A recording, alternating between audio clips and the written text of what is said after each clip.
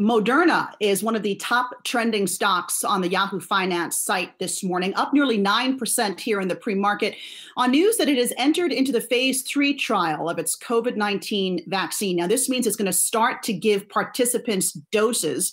The trial is expected to enroll up to 30,000 people. It's being conducted in partnership with the National Institute of Allergy and Infectious Diseases. For more now, we are joined by the CEO of Moderna, Stéphane Bancel, as well as Yahoo Finance's health reporter, Anjali Khemlani. Uh, good morning to you both. And Stéphane, thanks for being with us this morning. Uh, what do you um, hope these results in phase three will yield? Will it mean that uh, this vaccine is safe to be used perhaps in the next few months? Yes, so good morning and thank you again for having me. So, indeed, the phase three for a vaccine is a typical last clinical trial. It's a very large one, you know, 30,000 people 15,000 will receive the vaccine, 15,000 will receive placebo. And we're going to be able to see through uh, the data what's the safety of a vaccine. So it's a very large database of safety. And what is the efficacy of a vaccine? The FDA has set a bar at 50% efficacy. So it's very clear for everybody what has to be achieved. And what we started to do this morning is to dose participants in several states in the US.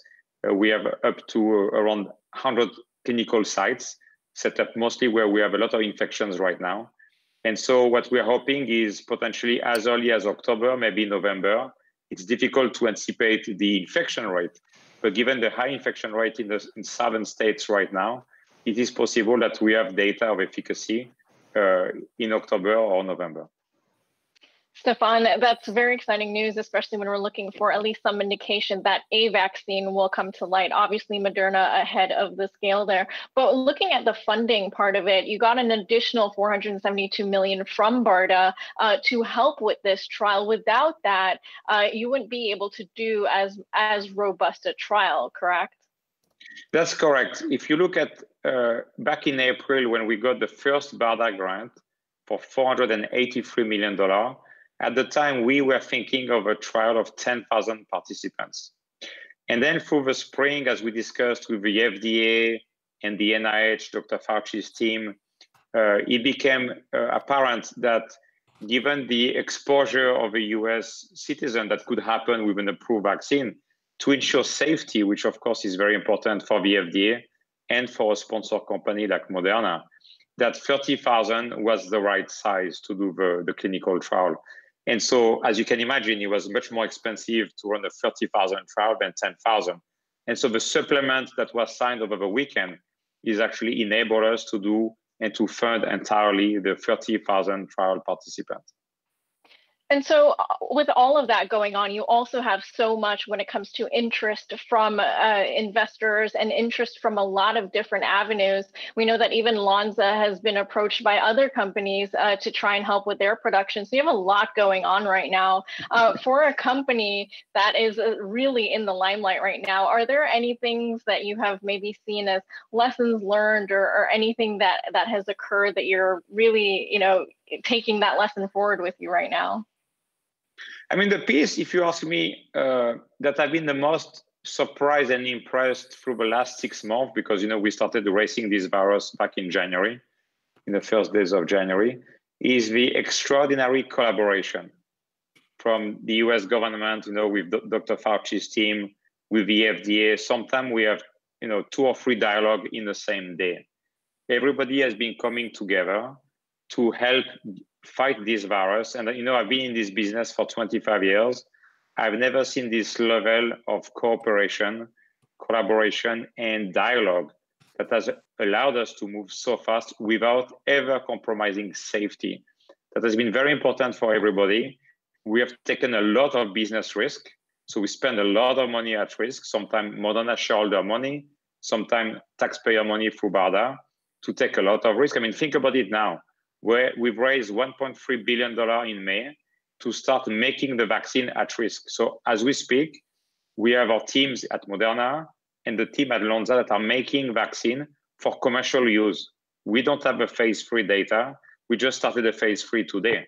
So it just tells you the extraordinary effort the industry and the governments are doing together so that if the vaccine works, which we should know in the fall, uh, we can make it available for millions and millions of Americans right away. Stéphane, I did want to ask you about the uh, your some of your stock sales. Seventy-two thousand shares sold through July uh, sixteenth. Uh, I understand a lot of these sales were prearranged, but what do you tell lawmakers down in D.C. who who are criticizing uh, sales like this and saying, you know what, uh, Moderna and, and many other biotech companies are profiting off the pandemic? Yeah, so those uh, sales were done through you know 10b5 plans uh, I can talk personally. I mean, those plans were initially set up in December 2018 when we went public. Uh, we had put, because I wanted to be very clear to investor, we had put a, a 12 month burn, which the sales could not happen for the first 12 months. Uh, and so by policy, those plans actually not cancelable now. Uh, we are in a, in a blackout period of a company. Uh, and because of that, nobody can start a new plan, can amend a plan, or can stop a plan that is against policy. Because as you know, when the SEC set up those plans, they did that you know years ago, so that you know executives could not benefit from insider information. And so, given there's so much data, like our non-human primate monkey data that not being public, the data in the, the elderly is not available yet to the public. So, so we only uh, uh, sell stocks through plans that were set up a long time ago when none of us even knew what SARS-CoV-2 or COVID-19 was. Stéphane, just to follow up on that, you know, it's commonplace for those plans to be amended over time. Can you share with us the last time those stock plans were amended for your company? And do you have any plans or are you free to buy any more stock in Moderna in the near term? So, because of a blackout period we are in, I cannot change a plan to buy or to sell stock. All those things are forbidden to me or to any of the executives or board members. What I can tell you is that you know 99% of my wealth is tied up in a Moderna stock. So I'm very aligned with any of our shareholders. Uh, and if you also look at it, um, because of the stock options that have been awarded to me by the board over the years, actually, despite the stocks that my plans have sold earlier this year. Uh, I had more stock in June 30th than I had on January 1st. Uh, so if you look at it, this was just a bit of liquidity that I set up at the time of the IPO uh, because you know the company has been private for nine years. Uh, I actually was the only investor in the world that has bought stock with cash at the same terms of any other investor in every other private round the A round, the B round, the C round, the D round, the E round, the F round, and the G round. I bought stock in every round. Uh, and so, uh, if any investors is worried they are not aligned with me, they should look at the numbers. We are extremely aligned. Stéphane, one final question for you. Looking at uh, the way that a lot, a lot of the larger sort of vaccine legacy companies are acting, uh, saying uh, pretty loudly that you know vaccines aren't typically a profitable avenue. That going to be possibly your first product out on the market, and all of this rush um, really of support behind it. Uh, does that play a role in in how you plan to price? Because there's so much taxpayer money, you've got a lot of investment. How does that uh, answer the question of you know pricing and, and going forward? With the with the provision of uh, vaccine doses? Yes, that's a great question, and that's one that we're spending a lot of time thinking about, trying to be very balanced and very responsible. We have said before, we have to make a profit out of the first product we sold because we have invested two billion dollar of our shareholder capital since we started the company. The company has never made a profit. And as I said, we raised another $1.3 billion of equity capital in May that is going to make product at risk, assuming the product is successful. And so we need to get a return. We are highly aware that this is a pandemic uh, and that we need to be very, very responsible how we price the product. We've said before, we will price the product within the range of vaccines already approved. Uh, and we're going to be most probably provide a, a discount for the pandemic phase. As Dr. Fauci has said, this virus is not going away.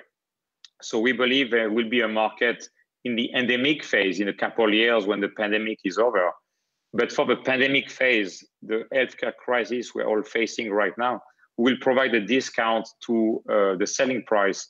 And we're trying to be very, very uh, careful and sensitive about it because it's really important that everybody who wants a vaccine is able to afford the vaccine. That is very important to all of us at the company.